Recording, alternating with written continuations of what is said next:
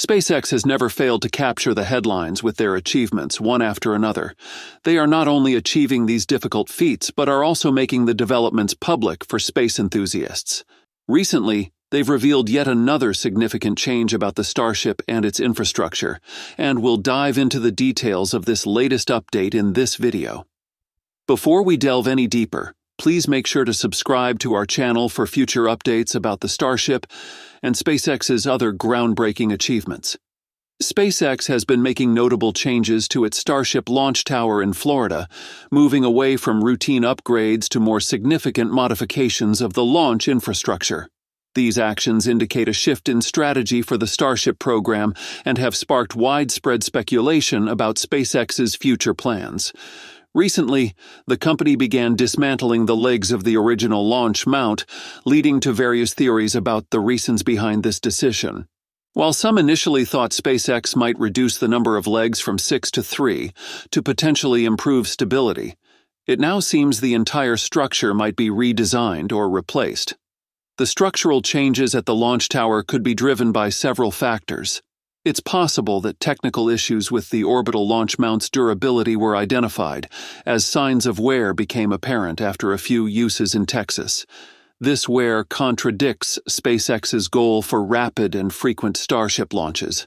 Alternatively, SpaceX might be planning a new design for the launch system, possibly incorporating a flame trench diverter.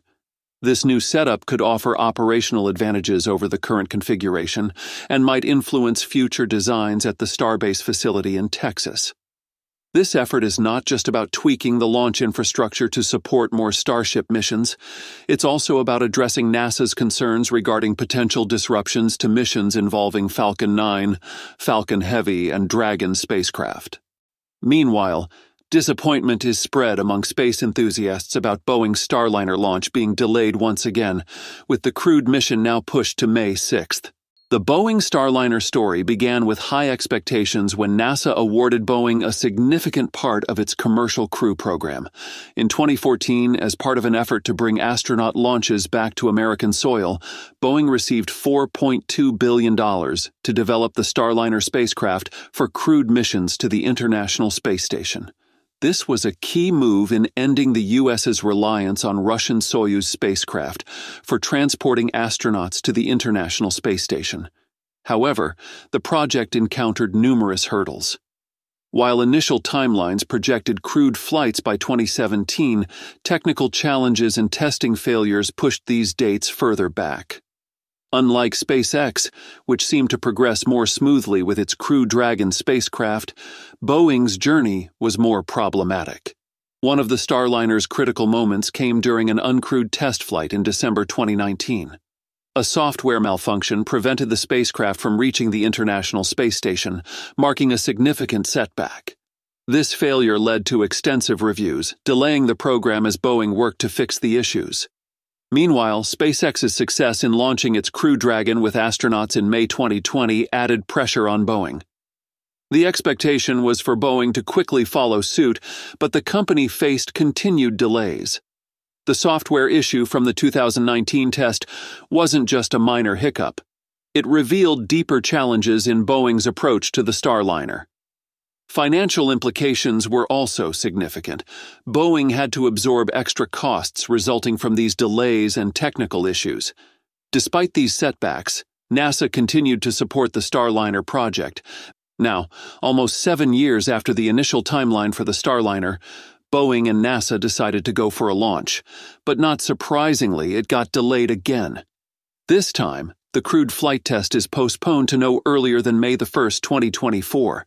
The plan was to launch in mid April, but the International Space Station schedule caused the delay. Right now, the International Space Station is pretty crowded, hosting seven vehicles, including two Dragon capsules and four Soyuz capsules. Some experts are now questioning whether NASA should have the ability to cancel contracts when companies fail to meet agreed timelines and other standards. This situation puts Boeing, one of the oldest and most powerful companies in aerospace, in a tough spot. Their struggle to achieve what seems like a simple goal, especially when you compare it to SpaceX's achievements, increases the pressure on them. SpaceX not only met this feat, but also broke multiple records, achieving milestones that other companies have never even approached. For example, they recently surpassed their own record for booster reusability by launching a single booster for the 19th time. Yes, you heard that right. This booster has traveled to space 19 times. Historically, the standard practice in space missions involved using rocket boosters only once. After propelling their payloads into orbit, these boosters were either discarded into the ocean or left to re enter the Earth's atmosphere, where they would ultimately burn up. The primary reason behind the high cost of space missions is the rocket engines. Constructing these engines requires advanced materials, precision engineering, and extensive testing to ensure they can withstand the harsh conditions of a launch and operate reliably. When a booster is discarded after a single use, the engines, which represent a substantial investment, are lost as well. This means that for each new mission, new engines must be built from scratch, driving up the cost of access to space. For example, the Saturn V's first stage had five F 1 engines, each costing millions of dollars. After their short operation time during launch, these engines were discarded into the ocean, along with the first stage of the rocket never to be used again. In today's money, the cost of each F 1 engine would likely run into the tens of millions of dollars. Even attempts at making rockets partially reusable, like the Space Shuttle program, had their limitations. The shuttle's solid rocket boosters were recovered from the ocean after each flight and refurbished for reuse, but this process was expensive and time consuming. Additionally, the shuttle's main engines required significant maintenance between flights, which limited the cost benefits of reusability. Musk started SpaceX exactly for this reason. He noticed the aerospace industry was wasting millions by not reusing rockets. Without any prior experience in this field, Musk believed he could fix this issue by developing rockets that could be launched, landed, and flown again, reducing the overall cost of space travel. Musk achieved his reusability goal first with the Falcon 9 rocket.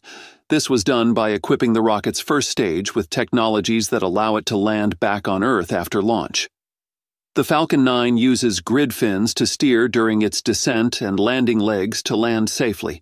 It can land on a drone ship in the ocean or directly back at the launch site, depending on the mission's fuel requirements. For missions where the booster doesn't have enough fuel to return to the launch site, SpaceX uses autonomous spaceport drone ships as landing platforms in the ocean. These drone ships are positioned at specific locations to catch the returning booster. On the other hand, for missions that allow it, the booster returns to a landing zone close to the launch site, where it can be quickly recovered and prepared for its next launch. After landing, whether at sea or on land, the booster undergoes inspections and refurbishments to ensure it's ready for another flight. Reusing a rocket booster is not as straightforward as it might seem, and achieving this feat is something no other company has accomplished. Yet, SpaceX has managed to not just reuse a booster, but has done so 19 times with the same booster. The Falcon 9 first stage, that was part of the Starlink mission, recently completed its record tying 19th flight. This particular booster, named Booster 1060, first launched in June 2020 and has been responsible for 12 Starlink delivery missions, among others. Its most recent mission before this was on February 15th, when it launched the IM 1 commercial lunar lander, setting it on course for the moon. And that's all for today's update. If you enjoyed watching and found it useful, please make sure to subscribe to our channel and hit the like button. Thanks for watching, and I'll see you in the next one.